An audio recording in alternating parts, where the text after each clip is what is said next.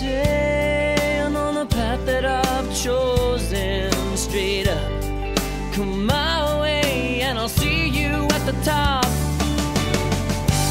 Cause something's gonna happen in this story, and I can feel it coming. Um, I'm Tara, I'm Justin.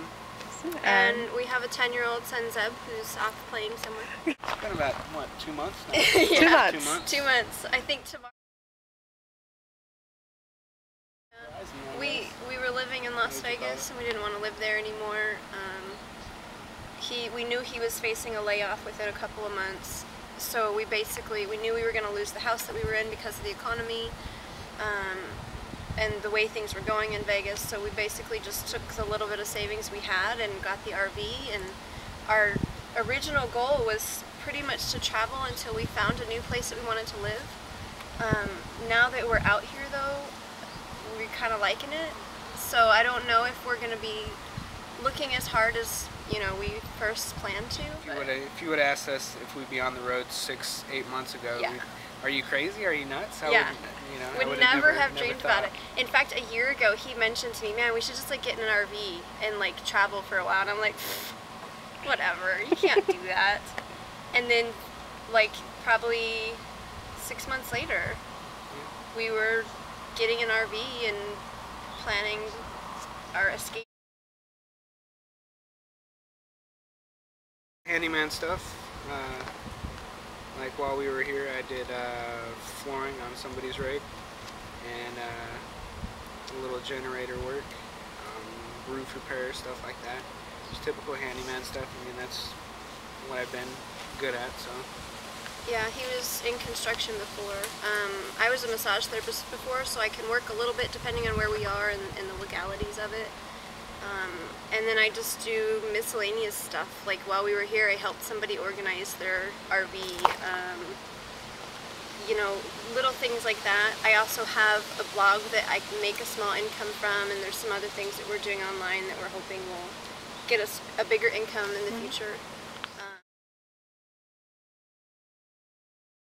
I've been on the road for two and a half years, almost, Almost three years. three years now. Um, and when we first initially were on the road, we only planned to do it for a year.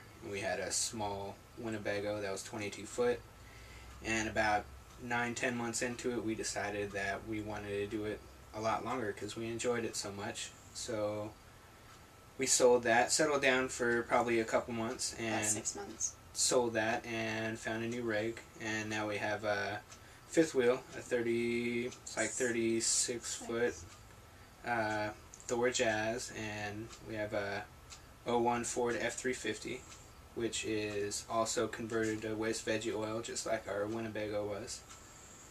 Um, anything else? Solar panels and um, Zeb has his own room this time. Um, it came with a bunk. We were looking for an RV with his own room because he's getting to that age where he does like his privacy.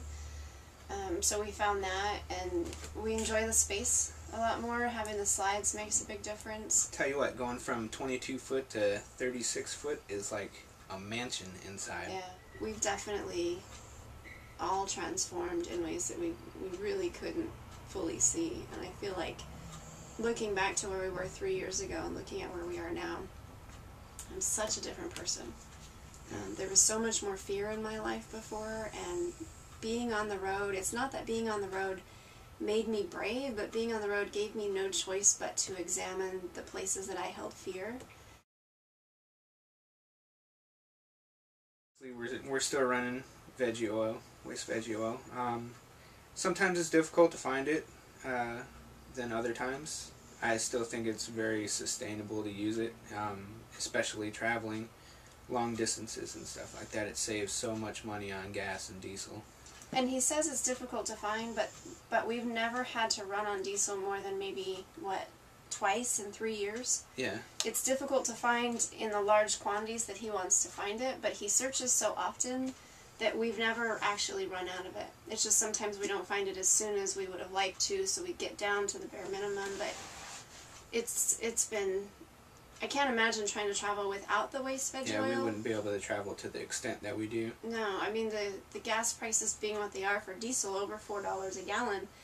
Every time he fills up on a diesel load, it's or a veggie load. How Yeah, much is it? it's four hundred dollars. I have a hundred gallon tank that I fill up, and I love it because it's better for the environment than running diesel or gas, And it smells good. and it smells good too. We make people hungry when we drive by. I mean, at times it's a little bit more upkeep. You know, um, there's things that you have to change out and clean and, stuff that you wouldn't. Yes, it's messy. It's definitely something that you don't uh, plan on doing unless you like getting dirty. You know. Yeah. Um, when we first went on the road, we were planning on just doing odd jobs because we weren't going to be staying on the road very long. We didn't really have a long term plan. We kind of just um, trusted the leap that we were taking. And it's kind of interesting because being on the road has completely changed everything that we do, especially what we do for a living. Um, the last Yes. interview, probably about two weeks after that last interview, I sort of fell into life coaching because a couple people had requested it, so I started putting it out there more. Um, now I've been coaching for over two years, two and a half years, and absolutely love it. It's completely changed my life and my perspective of life. Um, so mainly the work that, that I do is through the organicsister.com and life coaching and putting out products that support women in overcoming barriers and creating their own version of an unconventional life, whether that's traveling like us, most of the time it's not. It's just following their passions and, and maybe healing relationships. One day Zeb asked me how to juggle. We YouTubed it. Hour later, he's playing video games. Three hours later, here I'm juggling, and I just kind of stuck with it and fell in love with it. And I'm now working on juggling six, seven balls. Uh, I just love it. it. Use it for meditation, um, exercise, everything. I do. Uh, It's his happy place. yeah, I do uh, workshops now for different, you know, outings. Um, what else do I do? I sell juggling balls, make and sell juggling balls on my website. He's Um, getting into street performing. Street performing, I'm working on. I've done it uh, a couple times down in Florida, and uh, when I get back down in Florida this winter, hopefully I'll hit it up again. I really enjoyed it. Um, but yeah, check out my website, oddballjuggling.com. Um, We are still unschooling Zeb on the road. Um, we actually call it Google School because we spend more time Googling things than anything else. Yeah. Um, it's it's been interesting because shortly after we went on the road, you know, he kind of went into this new phase of growth where he was in his tween years and and even now at 13, he likes to be home a lot. Yeah. He he doesn't do as much yeah, he doesn't do as much exploring with us as we would have hoped he would.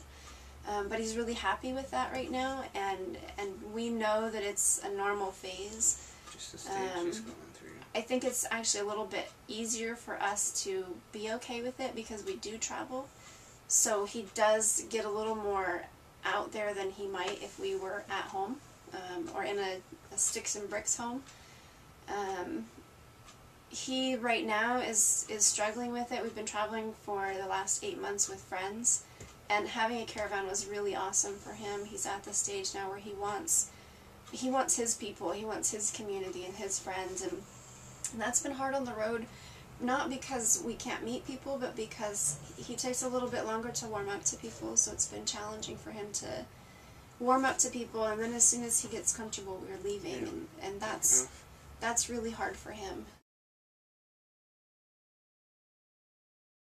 After traveling for close to three years, we've actually just in the past couple weeks been having conversations between the three of us, us two and our son, and we're all feeling ready to settle down. Our original intent was to find a community that we wanted to live in within a year, and it just became obvious to us we weren't going to find that within a year. Within a year. And- it's been three years, and we still We still haven't, haven't found, found, that it. spot.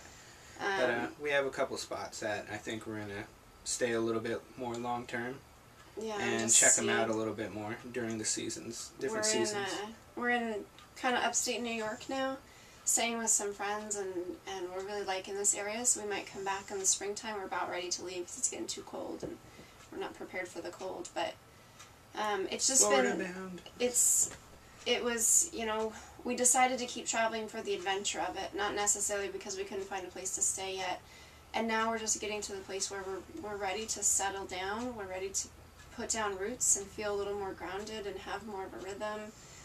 Um, we're just tired mostly. We're tired of, of the travel of packing up of finding places. It's a lot of upheaval. I don't want it to sound negative but after a while you just get to a place where you're ready for some some balance and some I'm ready for some stillness and just feeling settled and relaxed. It seems like once we got off got on the road, we kind of pushed through this barrier that was holding us back from exploring life, not just exploring the country. Yeah. And you know, we just we took everything that ever sort of piqued our interest and we just we explore more. We're more curious, we're more adventurous. Um, not always. We're still homebodies, but you know we have our home with us all the time, so it's easier to to travel and explore that way. And it's just been our our perspective on life and our approach to life has radically changed because because we started traveling. You know.